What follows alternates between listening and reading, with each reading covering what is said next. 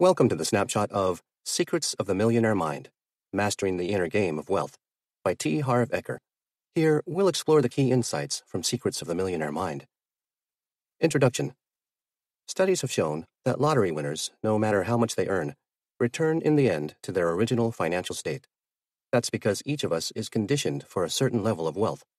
This conditioning, your financial blueprint, was drawn by your parents, teachers, culture, and experiences.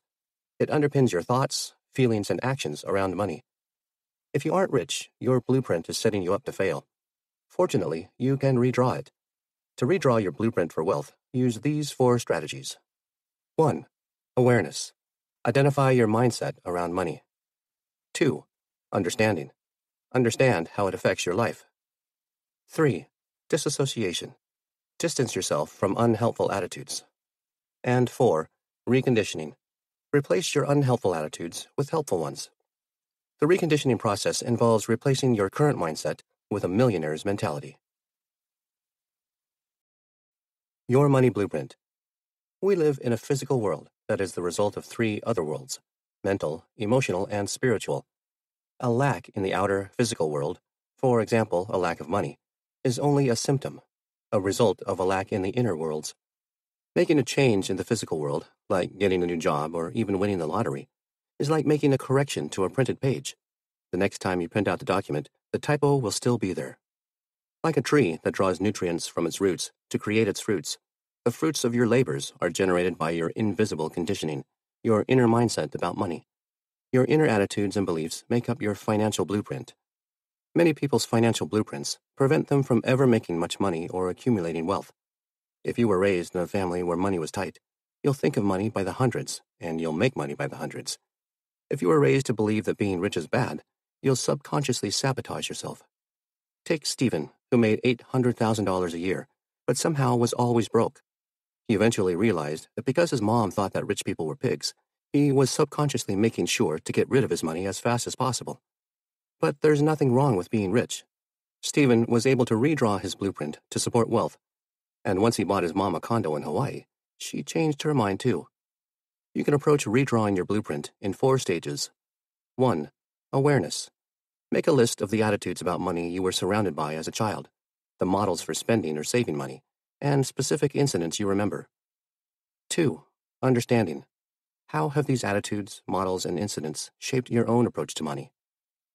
3. Disassociation. These attitudes do not have to be your attitudes, these models do not have to dictate your approach. These incidents do not have to scar you for life. And four, reconditioning. Set new intentions and act on them. Declarations are a powerful way to shift your inner approach. Speak your intentions out loud every day. An essential part of change is being willing to change, to stop doing things the way you've always done them. Be aware that thoughts create feelings, feelings create actions, and actions create results. The four are inextricably linked and changing one requires changing at least one other. The Wealth Files. When you need to make a decision about money, you access the files in your mind labeled Money, which contain all your attitudes, models, and experiences related to money. You decide on the right choice based on the contents of those files. And you can't make successful decisions about money if there's nothing in your money files that supports those decisions. This section explores some of the essential aspects of the millionaire mind. You'll learn to copy those wealth files into your own brain and use them to take specific actions for success. Redrawing your financial blueprint involves changing both what you do and what you don't do, both of which are based on largely subconscious habits. Rich people believe, I create my life.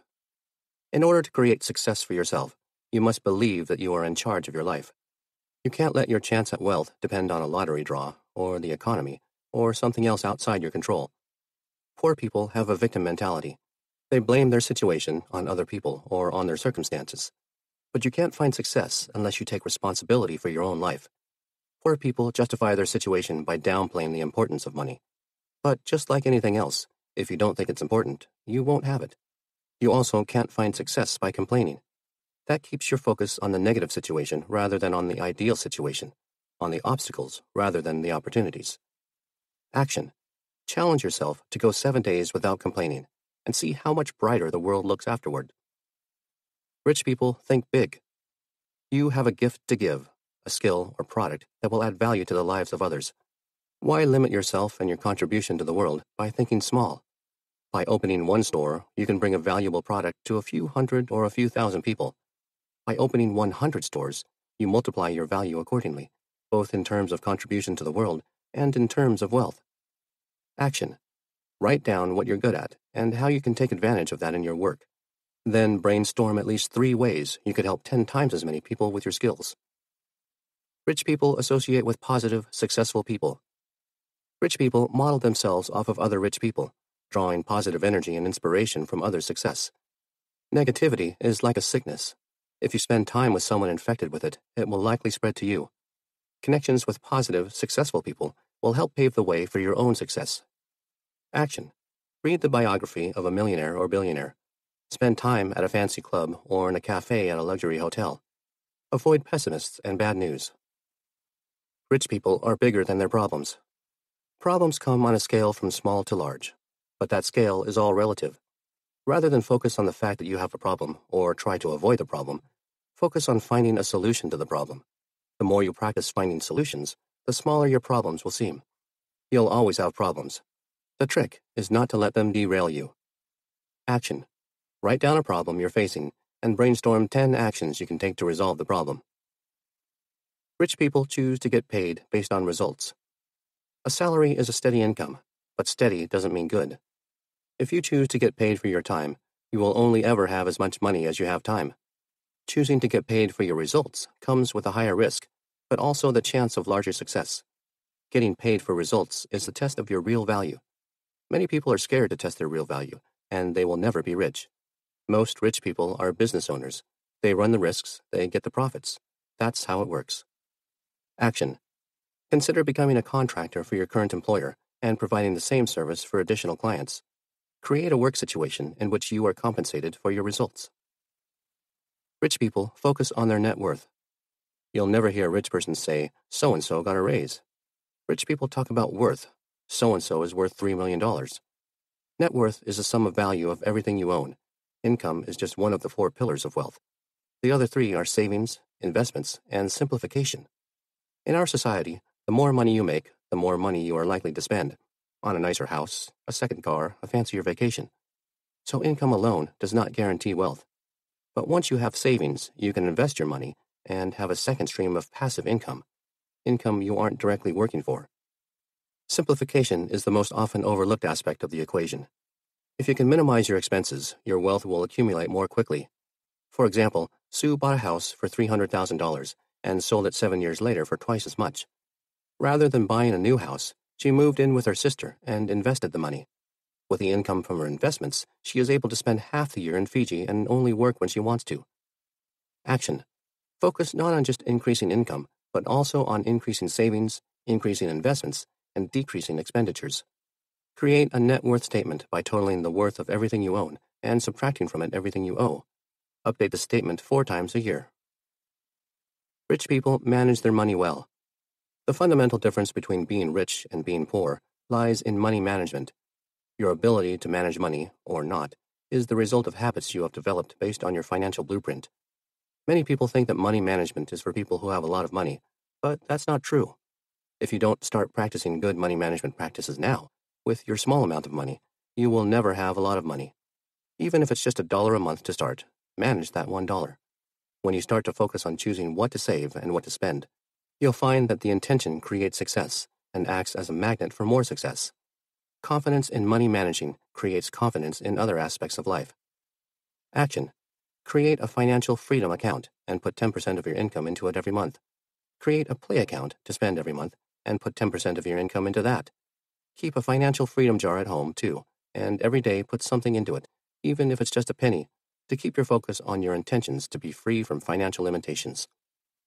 Rich people have their money work hard for them. Though it's often said that you have to work hard to earn money, you rarely hear the opposite, that your money should also work hard for you. Rich people learned this. Most people focus on earning active income, going to work and bringing home a paycheck. But if that's all you do, you'll have to work all your life. However, if you invest your money or launch a business that eventually runs without needing your work time, you'll be on your way to financial freedom. Action Learn about investments. Switch your focus from developing active income sources to developing passive income sources. Rich people constantly learn and grow. Thinking that you already know everything you need to know is an attitude guaranteed to keep you from growing yourself or your wealth. Even if you're successful now, the world changes, and what you know today is not necessarily what you'll need to know tomorrow. Invest in your own education and growth. If your response is, I can't afford it, you'll always be broke. Action. Do something every month to increase your skills and knowledge and enable personal development. Hire a life coach to push you to achieve your potential. Conclusion Remember that thoughts create feelings, create actions, create results. Reading these principles is a start, but you won't get very far if you don't put them into action. Redraw your financial blueprint according to the values and priorities that support you in reaching your true financial potential. To redraw your blueprint for wealth, remember these four strategies 1. Awareness. Identify your mindset around money. 2. Understanding. Understand how it affects your life. 3. Disassociation. Distance yourself from unhelpful attitudes. And finally, 4. Reconditioning. Replace your unhelpful attitudes with helpful ones. Read and reread the wealth files until they become your own mental files. Declare your intentions out loud every day, and act on those intentions to bring about the success you're seeking. About T. Harv Eker T. Harv Eker is a multimillionaire and president of the financial training company Peak Potentials. With courses such as the Millionaire Mind Intensive, Life Directions, and the Enlightened Warrior Training, he has helped hundreds of thousands of people reach their financial potential. Thank you for listening to the snapshot of Secrets of the Millionaire Mind by T. Harv Eker. If you liked what you heard, then make sure to explore the rest of our snapshot library to continue gaining key insights from nonfiction books in a matter of minutes. Thank you for listening to our quick learning audiobook review series. If you liked what you heard, then check out our channel for more free audiobook reviews. We post new audiobooks every week. And don't forget to like and subscribe to our channel and hit that notification bell to be first to hear of our latest reviews.